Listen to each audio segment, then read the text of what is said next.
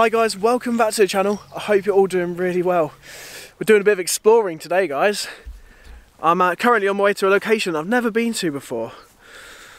So obviously here in the UK we're still stuck in a national lockdown and because of that we're having to stay, I hate saying this word now, I've said it too many times on this channel, but we're having to stay local. And obviously that limits my photography locations and places I can go and film vlogs for you guys. So last night I was sitting at home racking my brains about places to go and I realised I'm running out of locations. So I just got my OS maps up and basically what I did is I just scrolled around on locations in my local area until I saw, well, until I saw patches of green and I took a closer look at them to make sure that they were woodland and that they were accessible. And that's what I've done today. So the sort of woodland slash common that I'm on my way over to now is called Mansey Common. I literally have no idea what it's going to be like. Never been there before. Couldn't find any photos on Instagram or anything that gave me a good idea of what sort of the landscape's like. I know it's a forest and a bit of a common land, but nothing really gave me a strong indication about whether it's actually going to be any good for photography. But you know what? I'm out, I'm exploring, and that's what it's all about. you know, it doesn't really matter if I don't go if I go home without any photos. I'll talk more about that later. Right, let's go and explore this place.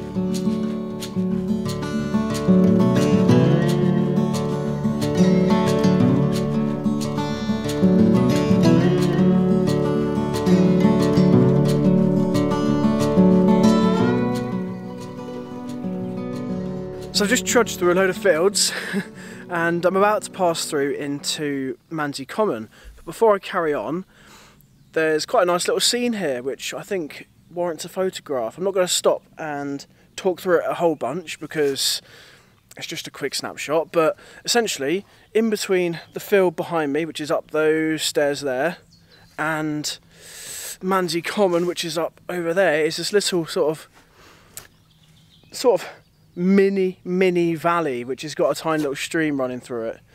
And basically, I'm on a footbridge right now, which I think is going to make a nice photo. So essentially, what I'm going to do is get the camera out and take a photo, stood on this, the middle of this bridge here, with the stairs leading up. Just a nice long leading line going all the way through. Now ideally I'd like a bit of fog or a bit, maybe a bit of a bit of colour in the sky, texture in the sky up there, but whatever. so I'll take that photo and I will carry on into Mansey Common. Oh, one more thing.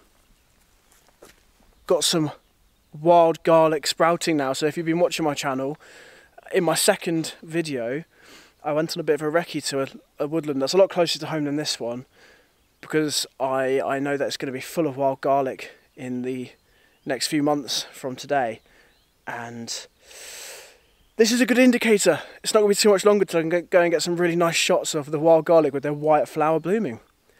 Right, let's crack on.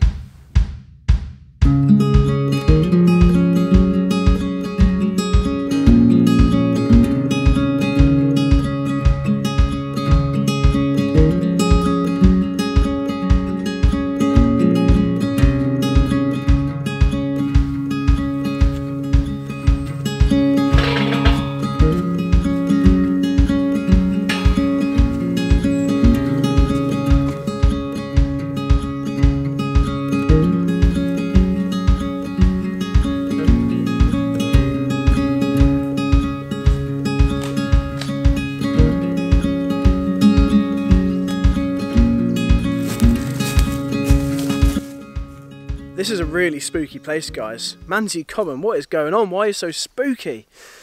As I came up from that footbridge into the common, I was struck with how eerie this place is, and that's just down to how old it is. I'm not sure exactly how old this place is, but I'm damn sure it's old because of the amount of trees that just look ancient in here. They're really gnarly and look covered in moss, really adds to it. And safe to say, I don't, I wouldn't want to be here on my own at night time. uh-uh. But today, during the day, I love how eerie it is. It's cool. It makes for some really interesting uh, compositions. And I found my first composition of the day, just there. I'll focus on this bad boy for you. Look at that oak tree. That is awesome. I love oak trees, but uh, uh, they just they just have a lot of character, especially this one here. What I really like about it is this broken. I can't point at it. it's going kind of it's opposite ways. I'm looking at my screen on my vlogging camera here. it's hard to point. Right, so this broken branch here adds a lot of character to this particular tree. It just helps show, kind of adds to its story. It shows how what, what the tough times it's been through in its really long, I'm guessing, life. Yeah, it's cool, and it's going to make a really nice photo. I think it's definitely not going to be the best photo today because we don't have the woodland photographer's best friend, which is fog, because that would really help add some atmosphere to this image. Another thing I like about this tree as well is it's in its own sort of clearing. Oh my god, I can't point, sorry guys. so it's in its own clearing and that really helps separate it from the rest of the forest, adding more emphasis on the subject at hand. And if you've been watching my channel, I a couple of vlogs ago, a couple of vlogs ago, I went to Thieves Wood, which is my closest local woodland, and it was really foggy. And I did a panoramic of some pine trees that were in their own clearing, and that them being in their own clearing separated them from the forest and really helped tell their story. And it helped. The, I think it helps the viewer just know what you're looking at as well. And the fog in that image really helps as well. I'll put the image up for you to have a look at actually of this panoramic. It's really cool. Uh, so that's why I think this is going to look better when it's foggy. Right, so onto the composition. So I've got the, the main tree in sort of the right hand if you split the frame up into thirds, the main tree here is on the right third. The broken branch here is going off to the left. So if you're following the branch, you're going from left to right. So the branch is coming up like that, broken one. And then you follow up this one here. Oh, I can't. Up to the right. so it's a nice left to right balance as well, which I really like. Ooh. So when I take the photo, settings wise, I am got quite a lot of dynamic range because it's quite bright in the sky.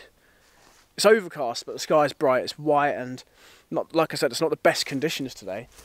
So what I'm trying to do, I could uh, do a HDR image, so I could merge two exposures in Lightroom to kind of get the best of both worlds. But because this is more of a practice, what I'm doing is I'm just looking at my histogram and making sure I'm not clipping any highlights and then I'll just recover some of the shadows in post-production.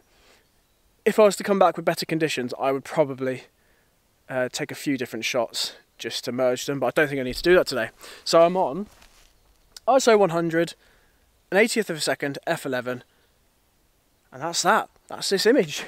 So I'll put it up for you to have a look at, and I'm going to head out of the common now into uh, an ad adjacent adjacent woodland that well, when I was looking on uh, my OS maps, I saw a lot of squiggly lines, which means that there's going to be a fairly steep gradient in this woodland, hopefully, and that could offer up some interesting compositions. Let's go.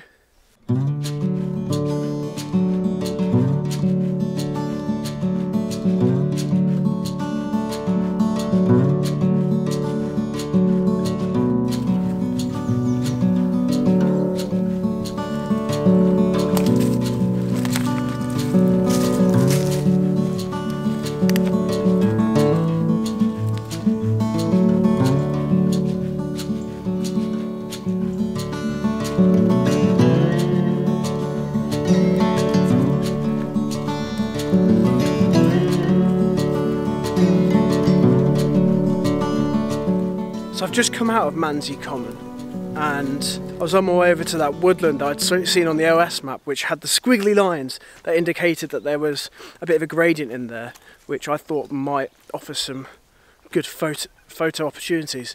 But as I came out of Mansey Common I stumbled upon something very random, it's a bit bright isn't it? Very unexpected and very cool and uh, I'll show you what I was talking about. So if, look at this behind me. Look, I'll just focus on that for you.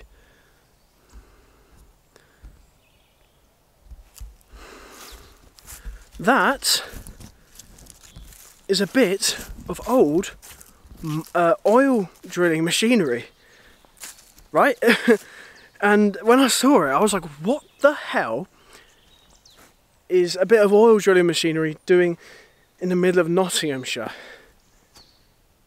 and I've seen a few of pieces of this machinery dotted around this this area and I was just thinking what what's going on until I walked past a plaque that told me what's going on.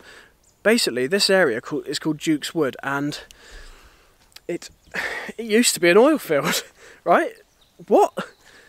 So it was created in secret in the 1930s to, to help the war effort um, and it produced nearly 2 million million barrels of oil in its lifespan, which is just absolutely insane if you ask me.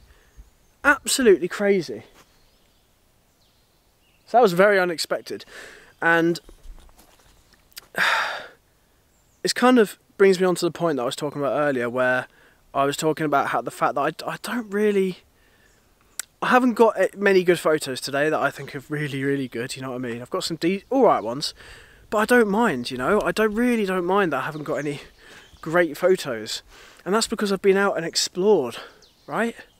And I think, I mean, this is probably probably goes for landscape photography more than other types of photography, but if you're into landscape photography, I'm pretty sure that you're into the outdoors and exploring the outdoors. And in my opinion, okay, everyone's entitled to their own opinion, okay, but if you've been out and you've explored for the day, then who cares if you get great photos, right? You're always going to be able to go back somewhere and get good photos, right? You know, if you know what you're doing, you're going to be able to get good photos. But like today, I, I've had such a good time. I've, I've stumbled upon this, which is so weird, and I wouldn't have, um, I wouldn't have found it, you know, if I hadn't just if I was so focused on getting some really good photos, I might not have stumbled upon this. Oh, I've got flies going on me. Um, so yeah, that being said, I'm going to walk around. I'm going to take some photos of this machinery just because it looks cool. Um, I do think it would look better in some nice fog to make it a bit more atmospheric, but I don't really care. I think it's just it's just cool to come and have a look at it. Look at it. So yeah, uh, I hope you've enjoyed this video, guys. I'm going to start heading back to my car after I've taken these photos. I'll put them up for you to have a look up, look at, of course. And yeah, just if you've enjoyed this video, please consider giving it a thumbs up and subscribing to my channel. I'd really appreciate it. Looking forward to, to coming out of lockdown now because I am struggling to find places to go. But one more time, again, this today. I've never been here before randomly chose it last night, just turned up and had a really good time. So, yeah, just go and explore. anyway, thanks for watching, stay safe, and see you later.